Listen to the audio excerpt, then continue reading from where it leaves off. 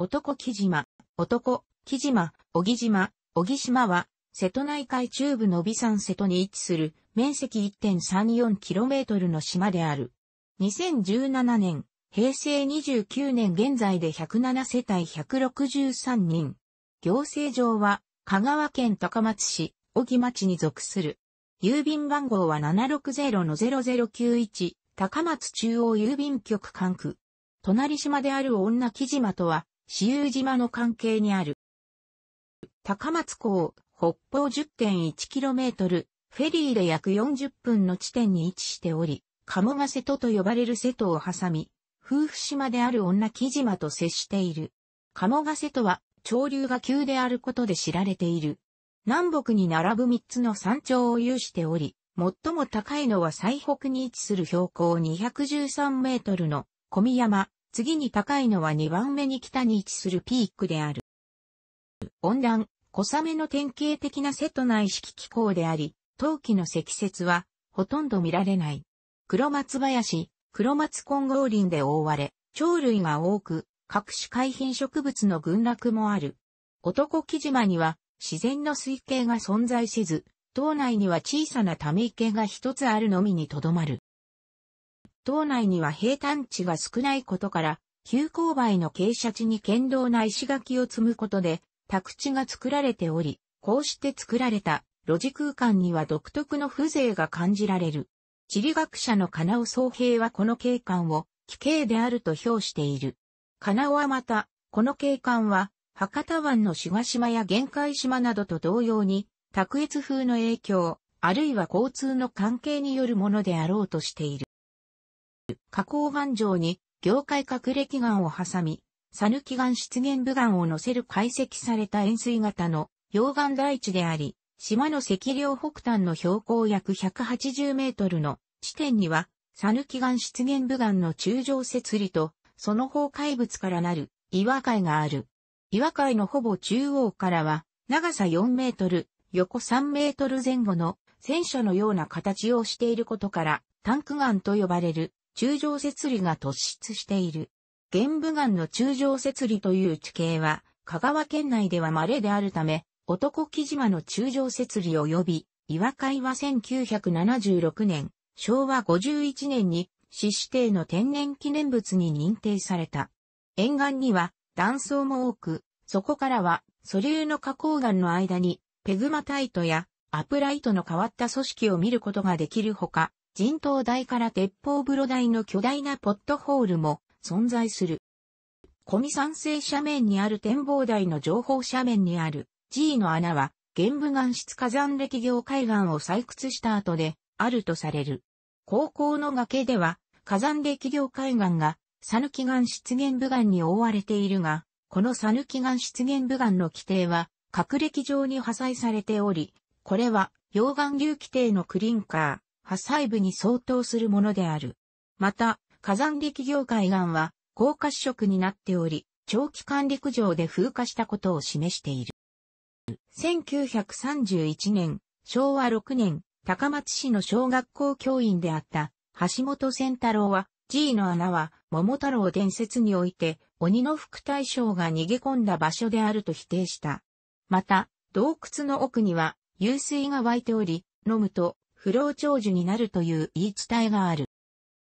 島を男女に見立て、対岸の女木島と対応して付けられた名前とされている。また男木島の木の由来にも諸説あり、樹木が生い茂っているからとも、防御地である城に由来するとも、あるいは、出雲系の士族である騎士がこの島に定住したからとも言われる。また、古事記に登場する豊玉姫に由来する、大姫、扇島という名前が展示物である、という説もある。源平合戦の八島の戦いで、那須与一がいた扇が流れ着いたことから、扇、扇という透明が付けられたとする伝承も存在する。島内には小規模の石石塚である、小宮山古墳など、六基の古墳がある。男、木島、女木島、直島を合わせて、直島さんが、島というが、戦国期から1671年、漢文11年にかけて、この地域は土豪である高原氏の所領であった。軍記物である南海一覧記には、高原氏の祖は、北条時頼の時代に、ビザンセとの海賊を平定し、直島諸島及び、シワク諸島をお貸しされた、鉱西イエスケであると記されている。天正10年、1582年の備中、高松城の戦いでは、高原継俊らが案内者として、橋場秀吉を助け、その功績から直島さんが島の支配を安堵された。自利の子である継勝は、関ヶ原の戦いで東軍に組みし、その後は、旗本として加盟を保った。高原氏五代当主である高原中将には、警視がいなかったことから、丹波国産下藩より、国威制の八王である、熊之助養子に迎えて六代、高原中公とした。しかし、中正と中公は、反りが合わず、中正は、中公が、父母に不幸であることを、大老の堺忠清に訴えた。しかし、それが裏目に出て1671年、漢文11年12月に、高原氏は、改易、翌1672年、漢文12年により、直島さんが、島は、天領となった。1862年、文久2年、高松藩は幕府の内命を受けて男木島、目木島に台場の築造を命じた。当初、天領であるという理由から、両党は命令に従わず、高松藩は対抗措置として、両党の漁民が高松城の魚市場で海産物を売ることを禁じた。取った魚の大半を高松城下で販売していた男木島の漁民は、生計に困り、当時の商屋であった上川安右衛門の宅に押しかけて、陳情を行い、安右衛門は、目木島の庄屋である、西尾博士右衛門と共に、直島の庄屋、三宅家を頼り、大馬築造を受け入れることとした。国高は、自家島の内男、木島古町面高辻写しに見える1679年、遠方7年の備中国足森藩による検地では83国余り、内小物なりは山手銀8問目余り、また300目大銀33問目、トマ50枚大銀20問目、小麦わらこも100枚、銀10問目、イカナゴモウ群上銀260問目、大毛2条群上銀700目となっている。天保号町には89国余り、旧高級領取調べ町には88国余り、とある。幕末頃に描かれた、直島旧石順乱図絵には島回り一里八丁15県、矢端は若干で漁師が多い、と記述されている。1882年、明治15年には、男木島漁夫総大会が結成された。1885年、明治18年には中野瀬、白野瀬、茂崎の瀬と呼ばれる漁場をめぐって、直島漁民と男木島漁民が乱闘する事件があり、翌1886年、明治19年には、大阪高層院によりこれらの漁場が、男木島の漁場であることを認める判決が出された。1895年、明治28年には、島北端部に男木島灯台が設立された。当時の灯台の光源は石油であったから、昼夜を通しての管理が必要であり、灯台完成後は、職員2名が家族と共にこの地に住み、孤立した厳しい環境下で東大の管理を行った。1945年の太平洋戦争終結後、男木島の人口は引き上げによって著しく増加し、多くの家屋が建てられた。1950年代には、島の人口は1500人から2000人ほどとなっていたものの、その後の高度経済成長によって、多くの人口が都市部に流出し、1980年、昭和55年の時点で人口は551人まで落ち込んだ。また、男木島は1957年、昭和32年12月23日に離島振興法の指定を受け、それに基づき1976年、昭和51年2月に簡易水道が設営された。1987年、昭和62年には男木島灯台が無人化された。その後灯台に隣接する職員が寝泊まりするために建てられていた体側所は改築され、灯台の歴史をテーマとする資料館として再利用された。2003年、平成13年には G の穴とタンクガン、及び東大資料館とを結ぶ遊歩道が整備され、翌2004年、平成13年には、この遊歩道周辺に水仙の球根を植え、小木島を水仙の島にしようという計画が立ち起こった。島に自生していたものを掘り起こすなどして、5年以上かけて遊歩道周辺の工作放棄地約1万2000平方メートルに36万個の球根が植え付けられた。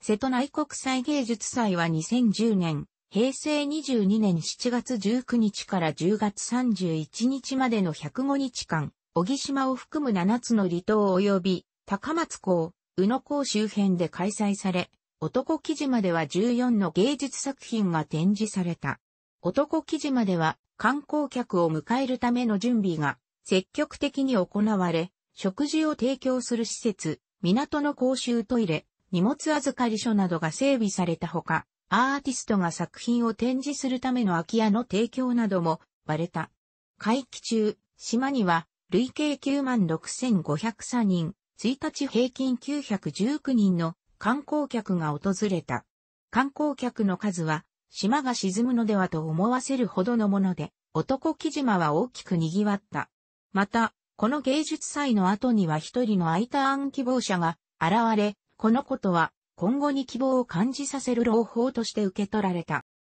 2013年、平成25年の第2回瀬戸内国際芸術祭は会期を春、夏、秋の3つに分ける形で行われたほか、新たに会場として香川県内の5島が追加された。小木島を訪れる観光客は累計49,712人と減少したものの、島民からは男木島に関しては、今回の来場者くらいが、来場する人の質の面でも、島民の生活に不便が出ないという面でも、妥当と考えるとの意見も出た。また、この芸術祭の後には、島の悲願でもある、子供連れの U ターン希望者が現れた。同年の秋には、休校中であった小木小中学校が小学生4人、中学生2人を迎えて再開された。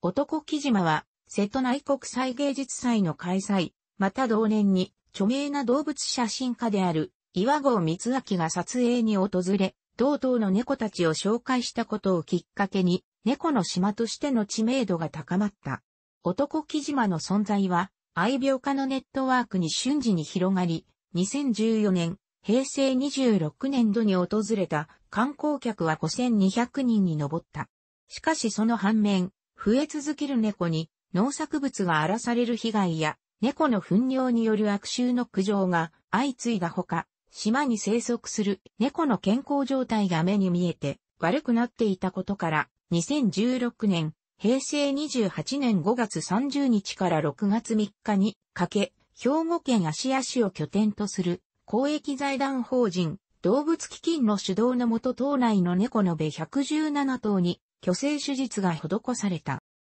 私立の小中学校に通学する場合は、高松市立小木小学校及び男目中学校の学区となる。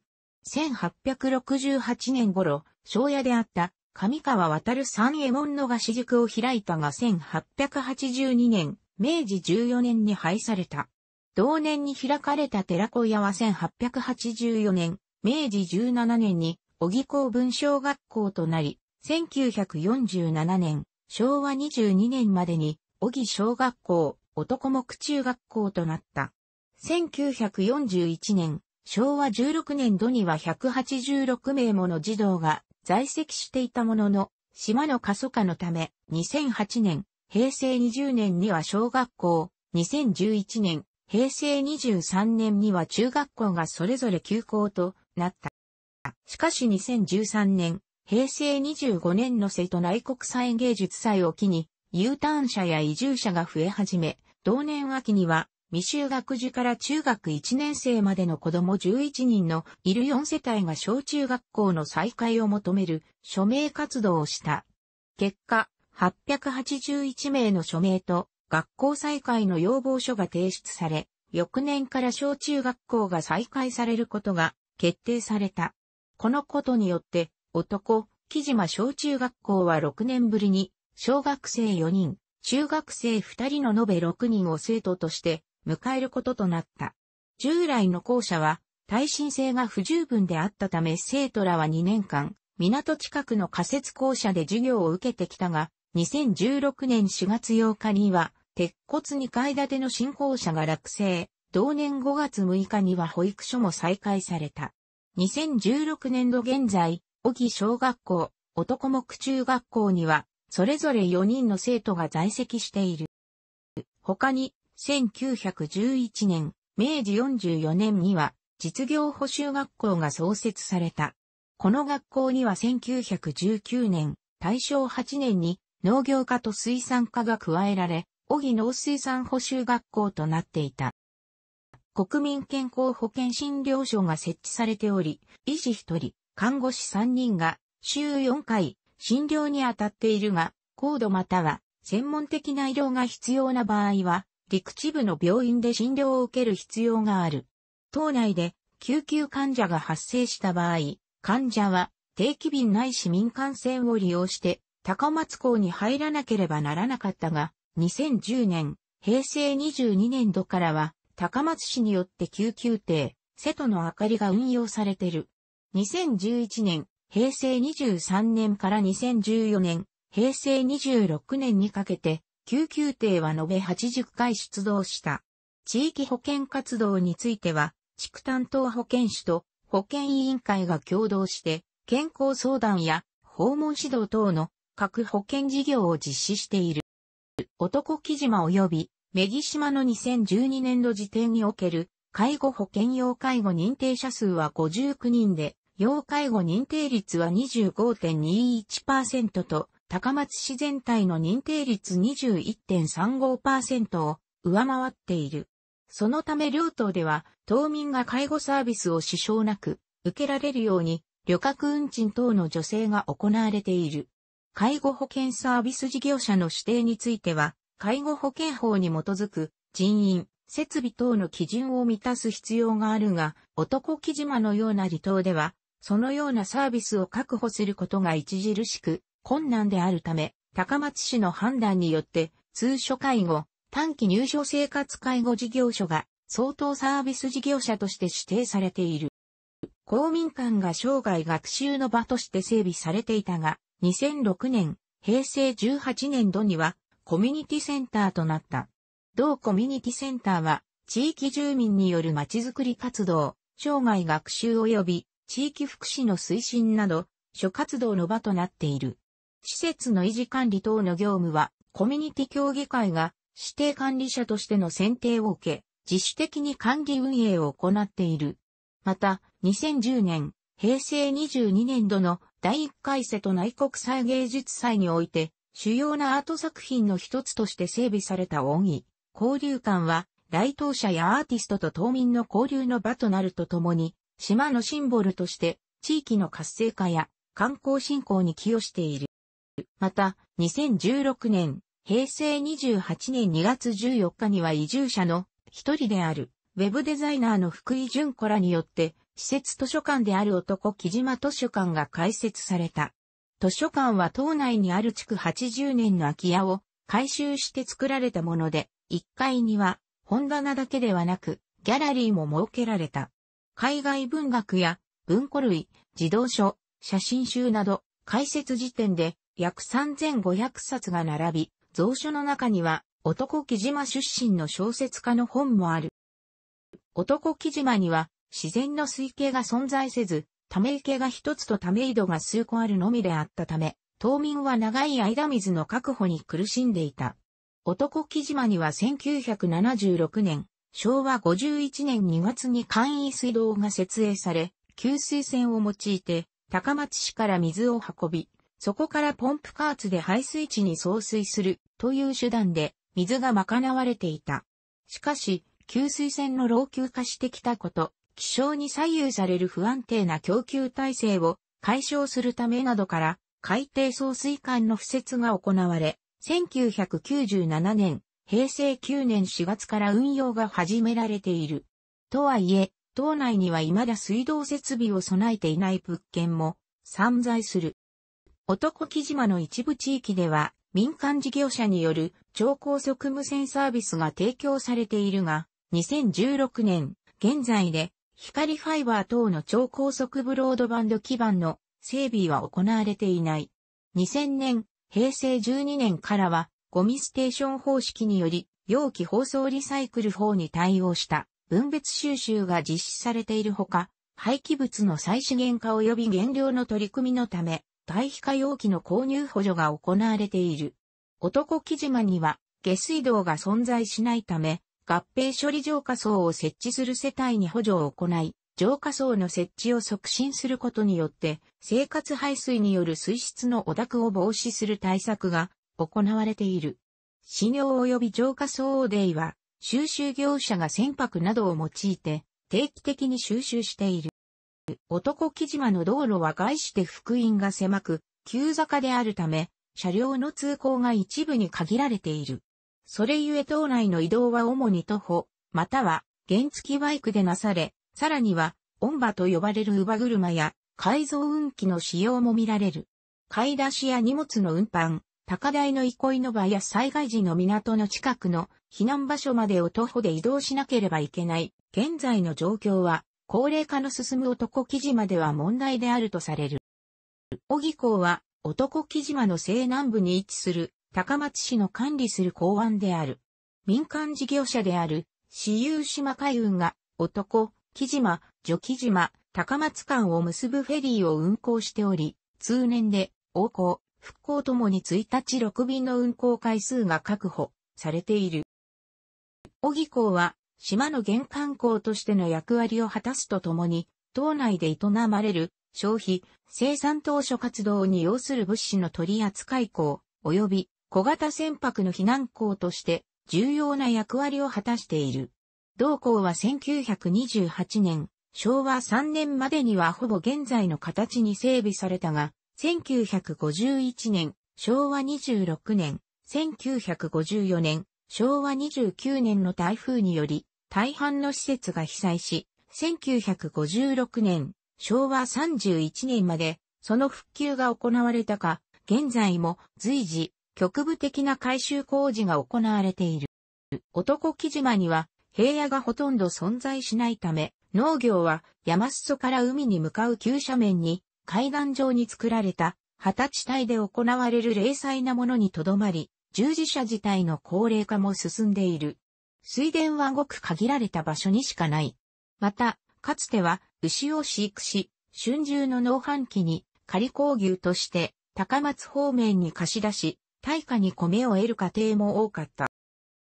また、サワラやタコなどを漁獲する沿岸漁業が広く行われている。男木島における水産業は不況や消費の減少などによる漁価の低迷、従事者の高齢化、後継者不足等の問題を抱えているが、香川県全体で取り組まれている種苗放流及び資源管理により激減していたサワラの漁獲量が回復傾向にあるのをはじめ、放流事業に取り組んでいる魚種は安定して漁獲されている。男木島の漁業組合である男木島漁業協同組合は2013年平成25年1月に女木島漁業協同組合と合併し、東瀬戸漁業協同組合として再発足した。小木漁港は男木島島南部に位置する第一種漁港である。1982年、昭和57年3月12日に漁港として指定された。男木島は古くから漁業の島として知られ、小木港を中心に漁業活動を行ってきたが、漁船の大型化により港が狭くなってきたため、1965年、昭和40年頃からは現在この港がある地点に桟橋を設け、漁業を行っていた。1982年の漁港指定を受け、高松市の第7次、第8次漁港整備長期計画に基づき整備が行われた。全域が瀬戸内海国立公園に指定されており、豊かな自然や美しい砂浜を活用した海水浴を目的に日帰りレクリエーション客が数多く訪れている。また、東大資料館と G の岩、タンク岩を結ぶ遊歩道には合わせて約1100万本の水仙が植えられている。この敷地は水選挙として毎年2月から3月ウォーキングイベントが開催されており、2014年、平成26年2月に開かれた推薦ウォークには、当該から600人程度が参加した。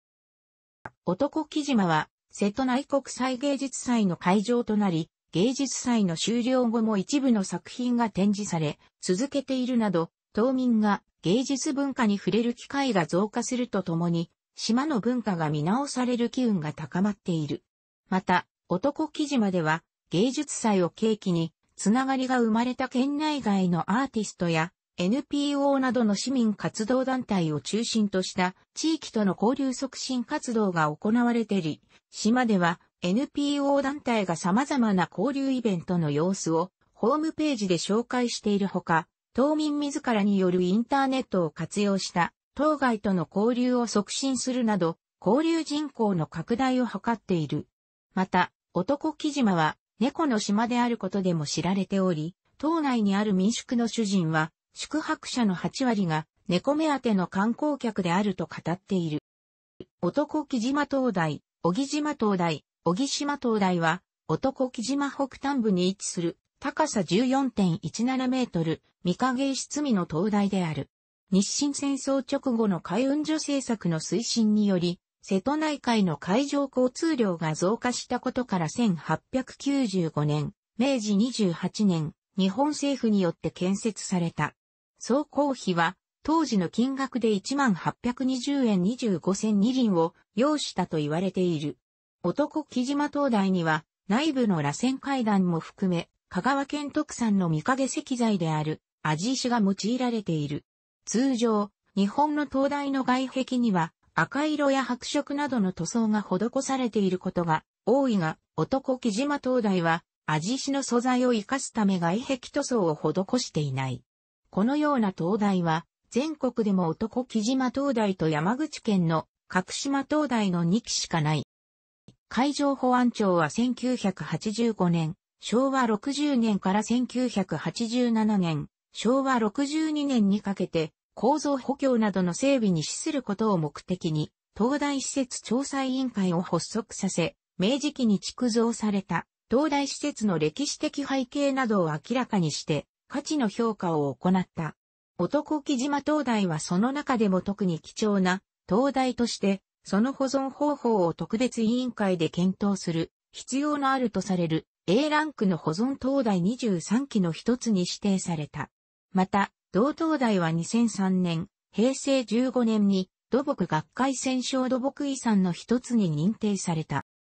豊玉姫神社は1580年、天正8年に建立されたと言われる、豊玉姫を祀る神社である。島民からは親しみを込めて、玉木さんとも呼ばれている。豊玉姫は安産の神として知られ、この神社に伝わる神具、小安具でお酒を飲むと無事にお産ができると言われている。同神社には、直島諸島のみならず小豆島、豊島や佐抜国各地、さらには、本土の吉備などからも参拝者が訪れた、と言われている。豊玉姫神社には1817年に鋳造、寄進された釣り鐘があり、かつては、召集、農務の警戒、臨時集合の合図などに使用された。また、境内には、乳母目菓子の巨木があり、1977年、昭和52年には高松市の名木に指定されている。同年には、境内にある最価値が県指定の天然記念物に指定されたが、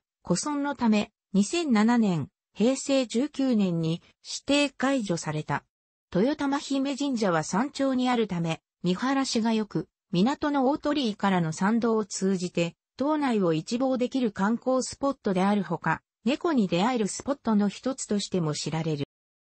島内には他に、豊玉姫の夫である彦穂でミソンを祀った鴨神社、豊玉姫神社抹社の住吉神社、他に、高神社、恵比寿社があるほか、寺院が一つある。男木島は小さな島であり、利用できる生活資源が限られていることから、島民の相互扶助の意識や一体感は強く、広島市立大学教授で、社会学者の中島正宏は、男木島の島民は、全体としていわば、大きな家族のようなものであると記している。また、男木島の島民は、お互いを名字ではなく、名前で呼び合うため、知り合いでも、性を知らないことがある。島民性は開放的なことで知られており、島に来た人を歓迎する気質が強いとされる。その厳しい地形条件から男木島で生活するためには、住民同士が互いに助け合うことが必要となってくるが、この相互扶助の慣習を効力と呼ぶ。この語源は明らかでないものの、おおむね、協力の発音が変化したものではないかと考えられている。瀬戸内国際芸術祭によりコミュニティ協議会の財政に余裕が生まれたことにより、草刈りなどの島の維持活動に謝礼が払われるようになったが、このことは、効力の伝統にそぐわないこととして反対する声もあった。明治初期までには、数え年で15歳から42歳までの男子により、構成される若中と呼ばれる組織があり、当該の構成員に大祭には、祈祷を義務付けるといった規約を作って、祭礼を取り仕切っている。また、島には、若主宿、ネイラ宿と呼ばれる娘宿があり、若者の集団的トレーニングや人間的交流の場として大きな役割を果たしていた。娘宿については、風紀を乱すということから1926年に廃止された。また島の山にはかつて年に1回のみ落ち葉かきを許される日があり、島にはそれを監視するための山番も置かれていた。また、島の女性は荷物を頭上に乗せて運び、これを、いただきと呼んだ。地理学者の金尾総平は、この風習が解釈したのは、島の路地がおおむね急な坂道で占められているからで、あろうと推測している。金尾は1927年、昭和2年の男木島の特殊な自然と人文にて、当時の男木島における結婚の事情について書いている。島民は16歳から17歳になれば、必ず結婚し、これに遅れることは非常な恥であるとされた。婿は、嫁の実家に赴き、結婚を数回混謀するが、実家側は、慣習的なものとして、これを退ける。次に婿は、娘組を招き、ご馳走などをして、了解を求める。その後、婿は、娘組、あるいは娘組の世話をしている老婆の手から嫁をもらう。結婚した後も夫婦は親元にとどまり、子供ができるまでは別居を続ける。中には出産しても娘を送らず、3年ほど引き留めておく家もあるという。映画、喜びも悲しみも、幾歳月、メオンなどが、男木島灯台をロケ地の一つとしているほか、男木島は小説、バトルロワイヤルの舞台である、沖木島のモデルとなったとも言われていい。また、岩合光明の世界猫歩き、瀬戸内海では、小木島が撮影地の一つとして選ばれている。楽しくご覧になりましたら、購読と良いです。クリックしてください。